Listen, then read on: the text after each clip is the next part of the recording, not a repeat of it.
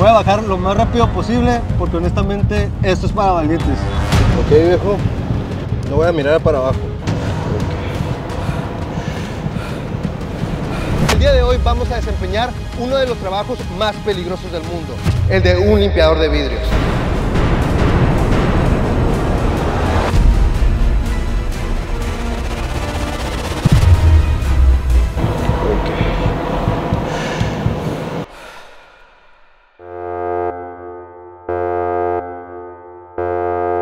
Cuando me enteré que iba a bajar por un edificio de 10 pisos, honestamente mi corazón se paralizó por el miedo que le tengo a las alturas.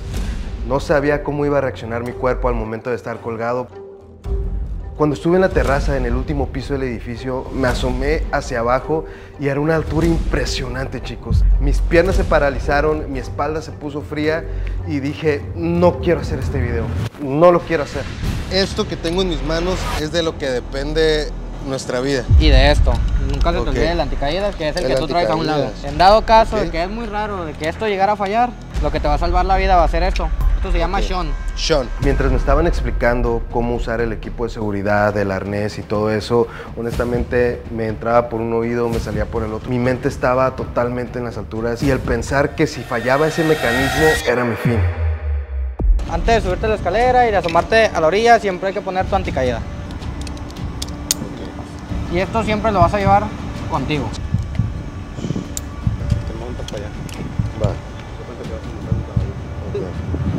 Estamos montando, viejo, aguanta. Al momento de dar el primer paso hacia el vacío, mi pierna izquierda no me quería responder al dar el salto. No podía, no podía lograr hacerlo hasta que una persona tuvo que acercarse, darme la mano y así bajarme. Al momento de estar colgado, chicos, honestamente vi toda mi vida pasar. No sabía qué hacer, no podía soltarme del barandal, no podía soltarme del vidrio para poder empezar a bajar para limpiar los vidrios. Ok, viejo. No voy a mirar para abajo. Sí, sí, sí. Lo puedes ir viendo, exactamente. Eso, viejón. Ok, ¿qué es lo más difícil de limpiar un cristal, viejo? Cuando está manchado de pintura o de mezcla que le, que le cae. ¿Cómo cuánto te demoras en limpiar todo un edificio, viejo? Lo máximo que me he tardado son como unas cuatro semanas limpiando un edificio. Cuatro semanas. Sí. ¿Cuántas horas al día? ¿Ocho horas? ¿Trabajando ocho horas? ¿Ocho horas al día? Sí. Cuatro semanas. Sí. Estábamos como por el séptimo piso y me quedé totalmente paralizado. Le dije, ya no puedo, ya no puedo bajar. Y el experto que venía conmigo tuvo que engancharse a mí para así bajar juntos y yo estar un poco más tranquilo, pero aún así no dejaba de sentir tanto miedo. Y así vienes conmigo. Ahora Ahora, pues vienes haciendo lo que yo.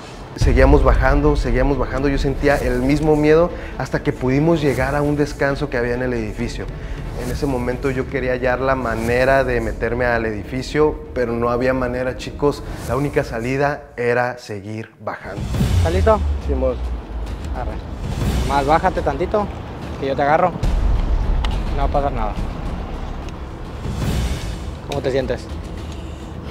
Yo estoy.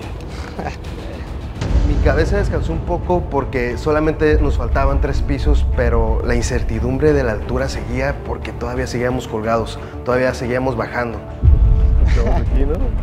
Estamos cerca ya. Aquí ya bajas más rápido, ¿verdad? Ya tiene peso la cuerda. ¿Te vas a bajar aquí o quieres intentarlo hasta el suelo? No, de aquí.